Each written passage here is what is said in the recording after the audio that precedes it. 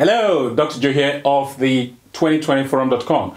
So, in this video, I'm going to be talking about wrist blood pressure monitors versus upper arm blood pressure monitors. Uh, which of them should you buy? Which is better? Uh, indeed, I've done a video on this topic before, uh, probably about two years ago or so. And in that video, my choice was the upper arm blood pressure monitors. And uh, has my view changed since then? Uh, no, it hasn't. Uh, in this video, we're going to be looking at uh, studies uh, related to this subject. And uh, we're also going to look at the technology behind digital blood pressure monitors in general. And of course, that reflects on which of them uh, will provide more accurate results as well. And we're also going to look at what Omron Healthcare actually said. Omron, they're the biggest makers of digital blood pressure monitors. Their view is uh, important uh, in this subject. And I'm also going to tell you about when to use wrist blood pressure monitors. So it promises to be exciting, so you stay tuned. So let's get started. Like I said, we're going to be looking at studies uh, in relation to this. So the first study uh, is this one here. Uh, it's titled Accuracy and Reliability of Wrist cuff devices for self-measurement of blood pressure and this was published in 2002 in the Journal of Hypertension. Now, what was this first study about? Well, the study uh, was actually uh, a validation exercise of wrist monitors against the standard sphygmomanometer. So when I'm talking about the standard sphygmomanometer is the usual device that we use in hospital settings uh, where we actually inflate uh, you know, the, the, the cuff ourselves manually and then we check the reading to see uh, which one is the systolic, which is the upper reading, and then of course the diastolic, the uh, lower reading. So uh, that's what this study was doing. Uh, it was actually a validation exercise of the wrist blood pressure monitors. And uh, the result was that the BP values uh, obtained in the palmar flexion uh, position was significantly higher. So when the palm was a little bit flexed, uh, they got higher readings. the conclusion was that the results suggest that wrist cuff devices in the present form are inadequate for self-measurement of blood pressure and thus are inadequate for general use or clinical or practical use. Okay, so that's what this study is telling us. Essentially, this study is talking about the uh, unreliability or the sensitivity of the wrist blood pressure monitors when it comes to position. Okay, so that's uh, one study, and you could argue that well, that study was a long time ago. That was 2002. So let's look at study number two, uh, and this one uh, was published in 2016. So we're fast forwarding to 2016, and this study is titled Poor Reliability of Wrist Blood Pressure Self Measurement at Home. Uh, it was published in the Journal of Hypertension. And uh, what was this study about? Well, it's an interesting study actually. Uh, this study looked at 721 individuals from the general population. So the researchers took 721 individuals from the general population. They trained them on how to use both the wrist blood pressure monitor and the upper arm monitor. The blood pressure was measured in the office as a reference. So the blood pressure of the individuals was measured in the office as a reference, and these uh, individuals were sent home to measure their blood pressure at home, both with the wrist uh, blood pressure monitor and the upper arm blood pressure monitor. So what did they find? Well, what they found was that in 86% of the participants, they had higher wrist blood pressure readings of at least 5 millimeters of mercury uh, and above.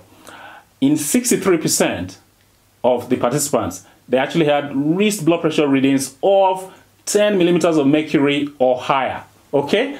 That is really, really significant. Okay, when we're talking about a blood pressure reading of, say, systolic of 150, and then you get home, you're getting 160. So that is quite a difference. So that is, uh, so their conclusion was that the use of wrist devices for home self-measurement leads to frequent detection of falsely elevated blood pressure values. So uh, if you remember in that video, those of you haven't watched it, uh, I'll just tell you what happened. Uh, because this is actually related to what happened to me. I bought the uh, wrist blood pressure device, and uh, when I started using it, I was actually getting wild readings. And for that reason, I wasn't happy with it, and uh, I sent it back to the retailer. So this very study is in agreement with what happened to me. So let's look at study number three. Uh, there are four studies we're looking at, by the way. So this is uh, the third one. Uh, this study is titled "Wrist Blood Pressure uh, Overestimates Blood Pressure Measured at the Upper Arm." So what's this study about? Well, it's a study that actually compared wrist blood pressure readings and upper arm readings using the conventional sphygmomanometer. So this study did not look at the regular digital uh, wrist blood pressure monitors. Rather, all they did was measure uh, the blood pressure using the regular sphig. So they took readings from here using the brachial artery and then from here as well using the radial artery. And they compared the readings to see which one was higher. And uh, or whether they're essentially the same. So what were the results? Uh, well, what they found was blood pressure measured at the wrist consistently. So the key word here is consistently. Uh, overestimated blood pressure taken at the arm. So blood pressure measured at the wrist consistently overestimated blood pressure uh, taken at the arm. So the wrist blood pressure measurement uh, reading was always higher than the one taken from the upper arm. That's what this study is saying. And their conclusion was that wrist blood pressure measurement is not a valid alternative to traditional measurement at the arm and its use should be discouraged. So this was uh, one study uh, that is not in favor of uh, wrist blood pressure measurement. So let's look at study number four. It's not all bad news for uh, the wrist blood pressure monitors. Where here's one study that is in favor of, of them, uh, and it's titled reproducibility of wrist home blood pressure measurement with position sensor and automatic data storage. So what was this study about? Well, it was actually about the reproducibility of home wrist BP measurement matched against the office and ambulatory BP measurements. And they used one particular device, and this one was supplied by Omron, and the particular device is uh, the Omron wrist device HEM-637IT, and it's got a position sensor. So what were their results? Well, the reproducibility of home BP measurement was significantly higher than the reproducibility of office BP and ambulatory blood pressure measurement. So that was their finding, and the conclusion being essentially the same that if you use this uh, this device, uh, this particular device, this specific device, uh, you got superior results uh, in terms of reproducibility to office blood pressure and 24 hour ambulatory blood pressure measurement. Well, I should say this. Um, I'm not being cynical, but the study was actually sponsored by Omron. Okay, so make of that what you will. All right.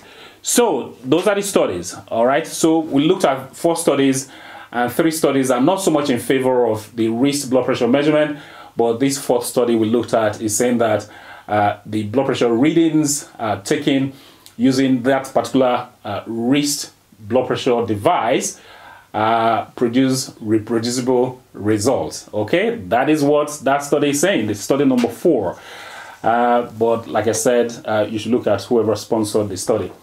So now the next thing I want to talk about is the technology behind these uh, devices. So we're talking about the digital blood pressure devices in general, the technology behind it, uh, because it's probably going to give us some idea of why some of these devices are more reliable, give more accurate results than others. So what's the technology? Well, the digital blood pressure monitors actually use oscillometric technology. What does this mean? It means uh, it measures uh, the vibration of blood traveling through the arteries and converts the movement into digital readings. Okay, so interesting. So, what do you think will happen uh, in a smaller artery?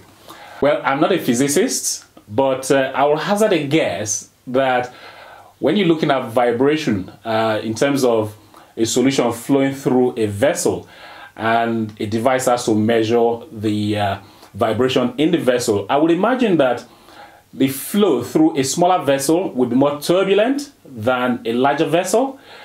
Uh, and here I'm surmising that is that the reason why we have higher readings with the wrist blood pressure monitors? Because the wrist blood pressure monitors are looking at the radial artery, okay, which is a smaller vessel here, compared to the brachial artery, which we normally use for the upper arm, okay, it's a bigger vessel. So as the vessel travels down the arm, it gets narrower and narrower. So is it possible that the wrist blood pressure monitors give us higher readings because the radial artery is smaller, so the vessel caliber is narrower, so you're going to have a more turbulent flow within it compared to a bigger artery, the brachial artery. Just something for us to chew on, okay?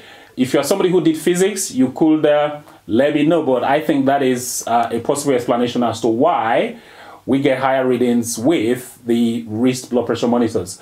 So, I also uh, looked at Omron. Uh, they are the biggest manufacturer of uh, uh digital blood pressure monitors, so they should know. So when you ask Omron, uh, between the wrist blood pressure monitors and the upper arm monitors, which ones should we use?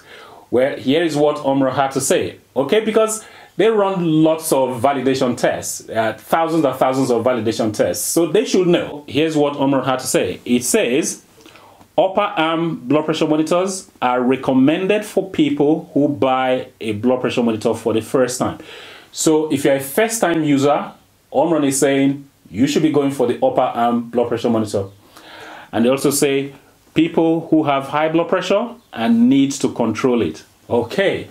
So if you're somebody who's got high blood pressure and you need to control it, Omron, the biggest manufacturer of digital blood pressure devices, is saying that you should be going for the upper arm monitor.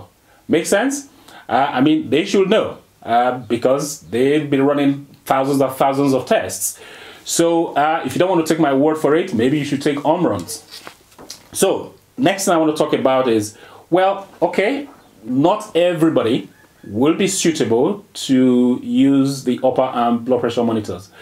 So on what occasion can you use the wrist blood pressure monitors? So because I understand that you know there are situations where uh, the upper arm monitor may not just be uh, appropriate or suitable, if you like.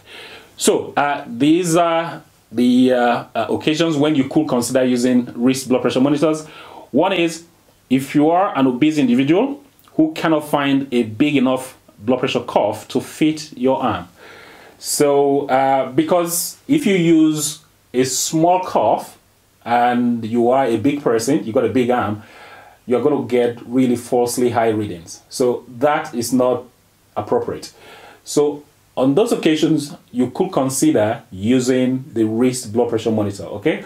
But there are big cuffs uh, that you can buy, all right? You can actually uh, search for big blood pressure cuffs that will accommodate your arm. Uh, but if you cannot find any, then of course you may consider using the wrist blood pressure monitor. Also, you will consider using wrist blood pressure monitor if you are under the age of 45. So if you're younger, uh, you may want to use wrist blood pressure monitor uh, because as we get older, our blood vessels uh, our arteries tend to get a little bit harder and uh, they are less pliable.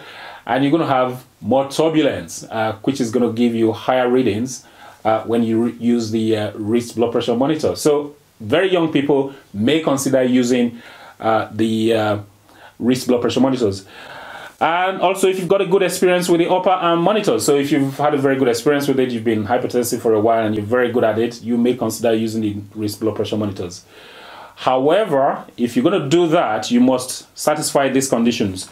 The first one is you need to validate the accuracy of your wrist blood pressure monitor with your doctor's machine. So take it to your doctor's office, uh, check it against his or hers, and uh, see how it matches. Okay, that's very important.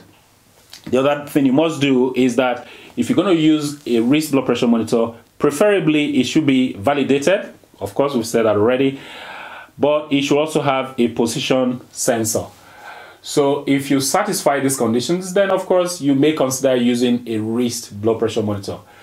But my view is that as a first choice, you should be going for the upper arm blood pressure monitor. That is my view. Uh, of course, uh, if there are mitigating circumstances where you cannot use the upper arm monitor, then of course, uh, go ahead and get yourself the wrist one. So hopefully that answers that question. Uh, and um, you know, especially the opinion of Omron is also important in this matter because, like I said, they're the biggest manufacturer, so they should know. Um, so uh, if you got some value from this video as usual, please give it a thumbs up, please like the video and uh, share this video with your friends, family and colleagues. Uh, please join us at the 2020forum.com where we talk about things like this, you know, uh, high blood pressure issues and other wellness issues. Um, if you haven't subscribed to this channel yet, please do subscribe. I think that's about it. Uh, oh, by the way, you got any comments, any opinion regarding this? Uh, go ahead, leave your comments right below as usual. I think that's about it. Until next time, well, this is Dr. Joe signing out.